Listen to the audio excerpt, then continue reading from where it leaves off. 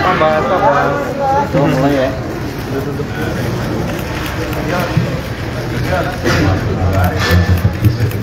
aman lah Baik. Assalamualaikum warahmatullahi wabarakatuh. Waalaikumsalam Selamat malam sejahtera untuk kita sekalian. Lalu Ustaz Berat Cuma Berat Salam bahagia Salam sehat Rahayu Pak Direktur Pendidikan Pak Khusus Beserta jajaran Dan jajaran Dispensum Beserta rekan-rekan media Yang sangat kami hormati Kami banggakan Terima kasih untuk kehadirannya atas undangan kami dalam rangka uh, press conference pada malam hari ini. Rekan-rekan media bahwa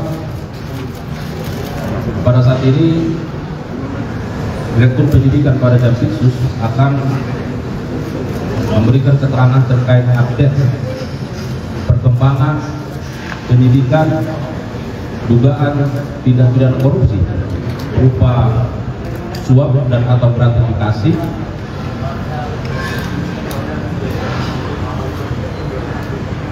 Dalam hal penanganan perkara tindak pidana umum di Pengadilan Negeri Surabaya atas nama terdakwa Ronald Tanu beberapa lalu. Sebelum Penyidikan menyampaikan keterangannya, beberapa hal ingin kami sampaikan bahwa sesuai dengan hukum acara bahwa yang dimaksud dengan penyidikan adalah serangkaian tindakan penyidik yang diatur menurut cara dan menurut undang-undang ini dalam rangka mencari dan mengumpulkan bukti yang dengan bukti tersebut membuat terang tindak pidana dan menemukan tersangkanya penyidik pada jajaran Jampitsus dalam beberapa waktu ini sudah melakukan tindakan penyidikan dan melakukan tindakan-tindakan serta upaya hukum. Dalam perkara ini baik berupa penangkapan, penggeledahan, penyitaan, dan bahkan penahanan. Ini merupakan upaya yang telah dilakukan oleh penyidik sejak putusan pengadilan negeri Surabaya tersebut dibacakan dan kami menduga ada tindak pidana yang kuat pasca pembacaan putusan tersebut oleh karenanya bagaimana substansi dari penyidikan ini rekan-rekan media mari kita ikuti keterangan pers yang akan disampaikan oleh Direktur Penyidikan. Silakan Pak Dirjen. Assalamualaikum warahmatullahi wabarakatuh. Waalaikumsalam warahmatullahi wabarakatuh. Selamat malam teman-teman dari jurnalis. Pada malam hari ini saya akan sampaikan informasi keterangan terkait kegiatan yang dilakukan oleh Satgas Pendidikan Negeri bahwa pada hari Rabu tadi siang tepatnya tanggal 23 Oktober 2024 tim penyidik pada Jaksa Agung Muda Tindak Pidana Khusus. Telah melakukan penggeledahan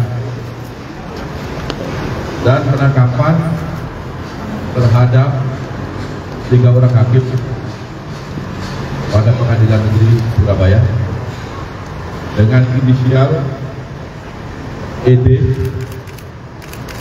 AH, kemudian F, dan seorang lawyer atau pengacara atas nama LN.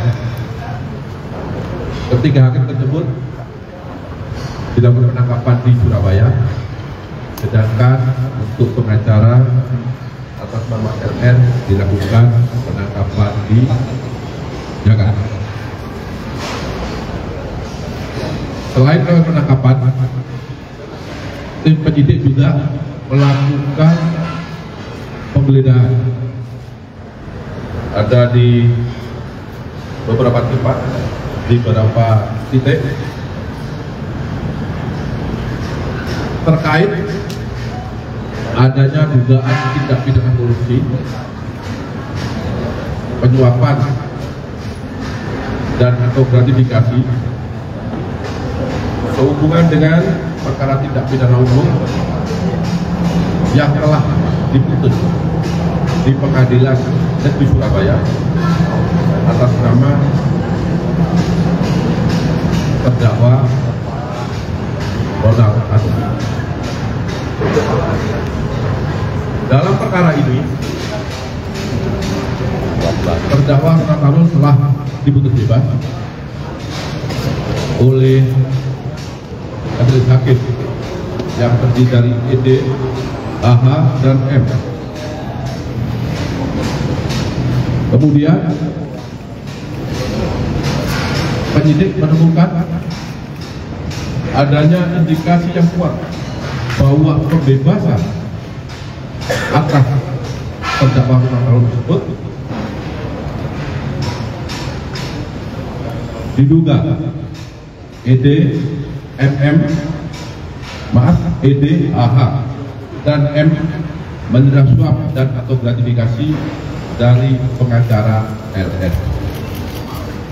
Jadi saya rasa cukup ya apa yang telah saya sampaikan.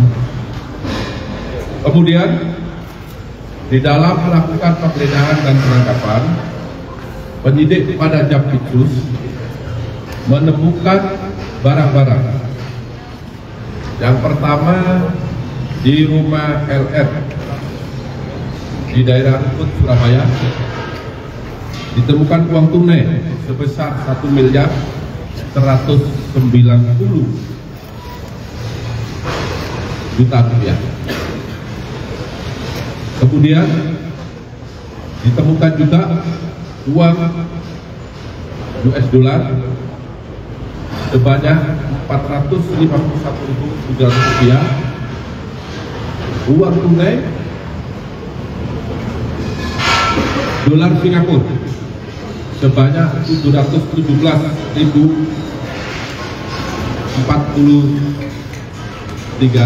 rupiah. Maaf US dollar. Dan sejumlah catatan transaksi. Kami menemukan catatan tentang aliran uang yang telah dilakukan oleh LN. Kemudian yang kedua, yang kedua di apartemen milik RR di Tower Palem Eksekutif Menteng Jakarta Pusat. Di sana ditemukan uang tunai terdiri dari berbagai pecahan, ada dolar Amerika, ada Singapura, yang kalau dirupiahkan setara dengan 2 miliar 126 juta rupiah. Kemudian juga ditemukan dokumen terkait dengan bukti penukaran uang atau valuta asing, catatan pemberian uang kepada pihak-pihak terkait, dan HP milik LN. Selanjutnya penggeledahan yang ketiga. Kita banyak tempat ada enam lokasi. Adalah di apartemen yang ditempati oleh ED yaitu apartemen Gunawaksa di Surabaya ditemukan uang tunai 97 juta 500 rupiah uang tunai dolar Singapura 32 ribu rupiah maaf dolar uang tunai ringgit Malaysia 35.992,25 sen dan sejumlah barang bukti elektronik. Kemudian penggeledahan di rumah ED di perumahan BSB Mijet Semarang ditemukan uang tunai 6.000 US dollar Amerika Serikat uang tunai dolar Singapura 300 dolar dan sejumlah barang elektronik. Kemudian penggeledahan di apartemen yang ditempati oleh HH di daerah Ketintang, Gayungan, Surabaya. Ditemukan uang tunai 104 juta rupiah, uang tunai US dolar Amerika 2.200, uang tunai dolar Singapura 9.100, uang tunai yen 100.000, serta sejumlah barang elektronik. Kemudian penggeledahan di apartemen yang ditempati oleh M di apartemen Gunawangsa, Tidar, Surabaya. Ditemukan uang tunai 21 juta 400 ribu rupiah, uang dolar Amerika 2000, uang dolar Singapura 32 ribu dan sejumlah barang bukti elektronik.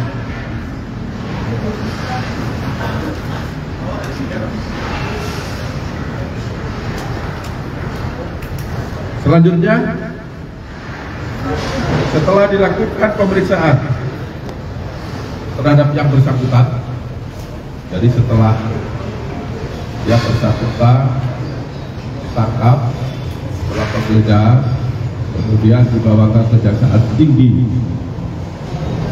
Jawa Timur untuk tiga tersangka. Kemudian yang untuk pengacara kita periksa di Jampitsus Kejaksaan Agung. Setelah dilakukan pemeriksaan terhadap para tersebut, maka pada hari ini tanggal 23 Oktober 2023 jaksa penyidik pada Jampitsus menetapkan tiga orang hakim atas nama ED, AH dan M dan satu orang pengacara atas nama LR sebagai tersangka karena telah ditemukan bukti yang cukup adanya tindak pidana korupsi yaitu suap dan atau gratifikasi.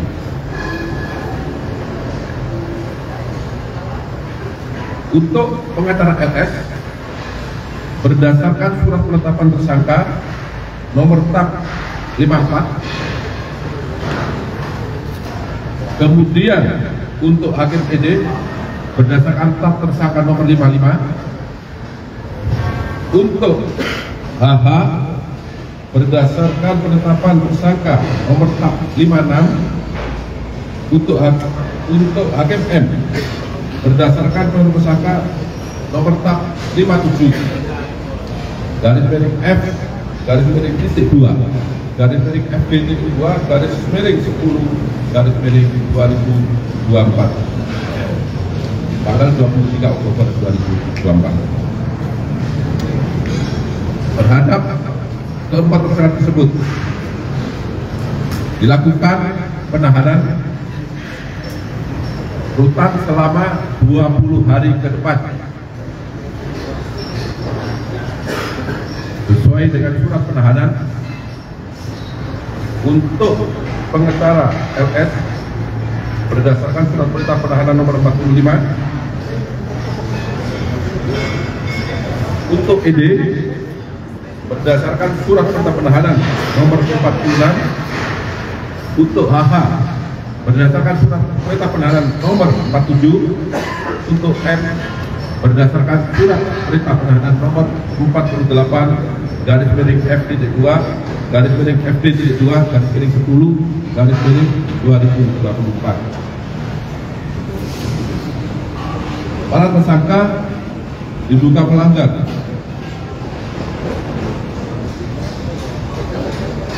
Untuk menerima suatu gratifikasi ditahan.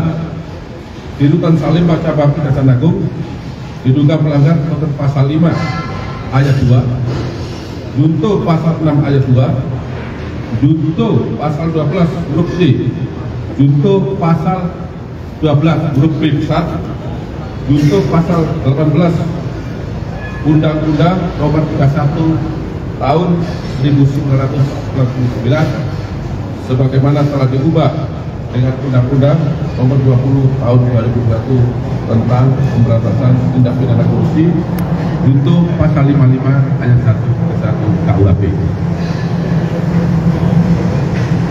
Kemudian untuk pemberi suap dan atau gratifikasi dilakukan penahanan di rutan kelas 1 Surabaya, Sabang, Kejaksaan Tinggi Jawa Timur yang bersangkutan diduga melanggar pasal 5 ayat 1 untuk pasal 6 ayat 1 huruf A untuk pasal 18 Undang-Undang Nomor 31 Tahun 1999 sebagaimana telah diubah dengan Undang-Undang Nomor 20 Tahun 2021 tentang tindak pidana korupsi untuk pasal 55 ayat 1 1 KUHP.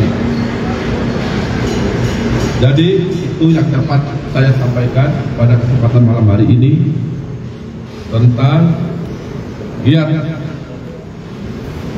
penyelidikan, tahap penyidikan dan penggeledahan serta penangkapan terhadap tersangka kepada empat orang tersangka yang sudah kami sebutkan tadi di depan. Demikian yang dapat saya sampaikan. Kurang lebihnya mohon maaf. Wabillahi taufiq hidayah. Wassalamualaikum warahmatullahi wabarakatuh.